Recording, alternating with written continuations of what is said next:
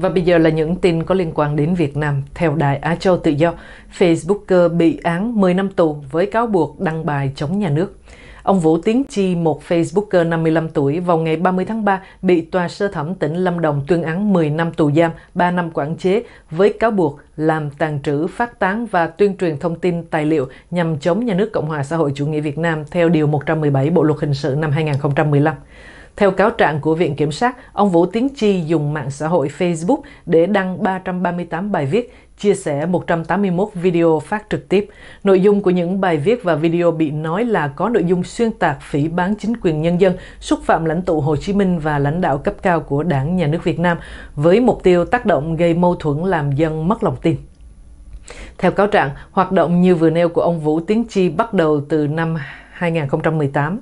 Ông Chi có liên lạc với Facebooker Nguyễn Cẩm Thúy hay còn gọi là Cẩm Thúy Cô ở Khánh Hòa và cả hai có ý định tập hợp thuyết phục những người cùng quan điểm lập quốc hội, từ đó hình thành tổ chức chính trị đối lập thay thế Quốc hội Nhà nước Cộng hòa xã hội chủ nghĩa Việt Nam hiện nay. Ông Vũ Tiến Chi bị Công an tỉnh Lâm Đồng khởi tố và bắt giam vào ngày 25 tháng 6 năm 2020 tại thành phố Bảo Lộc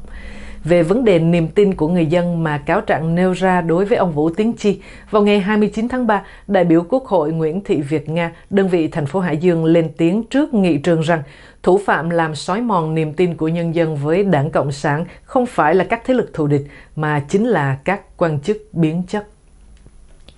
Đài Á Châu Tự Do tiếp tục đưa tin tại Khánh Hòa, ba người bị tuyên án tù vì định lập quốc hội và treo cờ vàng. Tòa án Nhân dân tỉnh Khánh Hòa vào ngày 30 tháng 3 tuyên án tổng cộng 21 năm tù đối với 3 người với tội danh làm tàn trữ, phát tán hoặc tuyên truyền các thông tin tài liệu vật phẩm nhằm chống nhà nước Cộng hòa xã hội chủ nghĩa Việt Nam theo khoảng 1 điều 117 Bộ luật hình sự năm 2015. Truyền thông nhà nước loan tin cùng ngày.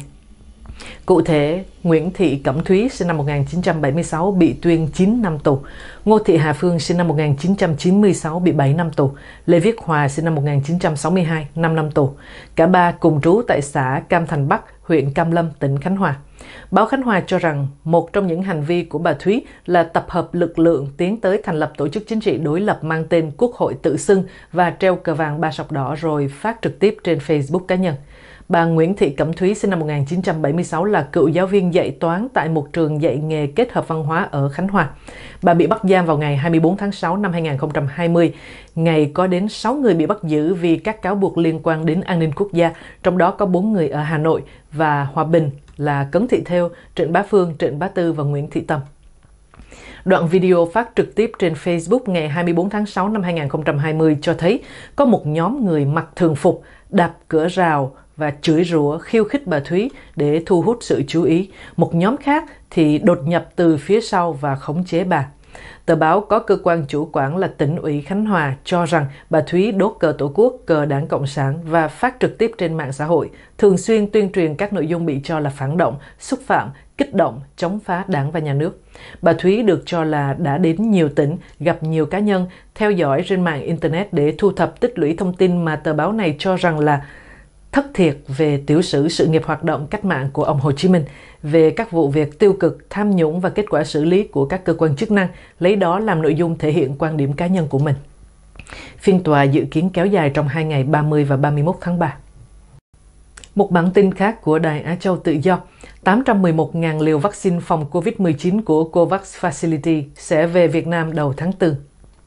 Lô vaccine phòng COVID-19 đầu tiên theo chương trình COVAX Facility với 811.000 liều vaccine AstraZeneca sẽ về đến Việt Nam vào đầu tháng 4. Thông tin trên được Viện trưởng Viện Vệ sinh Dịch tễ Trung ương giáo sư Đặng Đức Anh cho truyền thông nhà nước Việt Nam hay trong ngày 30 tháng 3. Theo giáo sư Đức Anh, lô vaccine này khi về đến Việt Nam sẽ được Viện bảo quản trước khi Bộ Y tế phân phối cho các địa phương để tiêm chủng. Bên cạnh đó, Bộ Y tế trong cùng ngày cho biết vaccine do COVAX hỗ trợ sẽ được miễn phí nhập nhập khẩu qua sân bay quốc tế Nội Bài hoặc Tân Sơn Nhất và thông quan lập tức ngay khi về đến cảng hàng không Việt Nam. Cũng theo Bộ Y tế, Việt Nam hướng tới mục tiêu 80% dân số được tiêm vaccine phòng COVID-19. Tính đến chiều ngày 29 tháng 3, Việt Nam đã tiêm vaccine COVID-19 cho tổng cộng là 46.416 người là cán bộ nhân viên y tế đang trực tiếp điều trị bệnh nhân COVID-19. Các nhân viên y tế thực hiện các nhiệm vụ như lấy mẫu bệnh phẩm, xét nghiệm, truy vết, thành viên các tổ COVID-19 cộng đồng và ban chỉ đạo phòng chống dịch.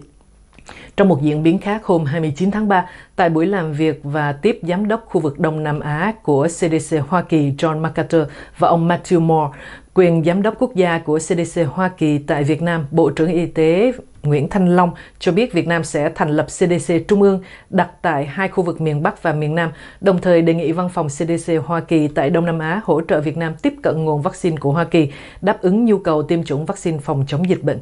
Theo thông tin tại buổi làm việc, đại diện phía Hoa Kỳ cho biết CDC Hoa Kỳ đã bố trí nguồn vốn trong năm tài chính 2021 là 2,3 triệu đô la cho các hoạt động với Cục Y tế Dự phòng, Cục Quản lý Khám chữa bệnh và bốn viện đầu ngành của Việt Nam. Ngoài ra, chính phủ Hoa Kỳ đưa ra cam kết tài trợ 4 tỷ đô la trong cơ chế vaccine COVAX để giúp cho người dân trên thế giới có thể tiếp cận vaccine nhiều hơn. Việt Nam đã bắt đầu tiêm vaccine chống COVID-19 từ ngày 7 tháng 3 sau khi nhận được 117.000 liều vaccine của hãng AstraZeneca. Trong khi đó, vaccine do Việt Nam sản xuất được Bộ Y tế cho biết là đến cuối tháng 3 này sẽ tiêm thử nghiệm giai đoạn 1 vaccine Covivac và đến tháng 7 sẽ đưa vào tiêm thử nghiệm giai đoạn 2. Cơ quan Y tế Việt Nam nói mỗi liều vaccine Covivac không quá 60.000 Việt Nam đồng. Đây là vaccine phòng COVID-19 thứ hai của Việt Nam đang được nghiên cứu sau Nanocovax của công ty cổ phần công nghệ sinh học dược Nanogen. Anh Chi xin cảm ơn sự theo dõi của quý vị. Kính mong quý vị tiếp tục ủng hộ chương trình của Tâm Thức Việt TTV bằng cách nhấn vào nút subscribe, nút đăng ký để ghi danh theo dõi và để không bỏ lỡ chương trình phát sóng hay cập nhật những tin tức video mới nhất của TTV thì quý vị đừng quên nhấn vào nút chuông để nhận thông báo trực tiếp từ TTV nhé.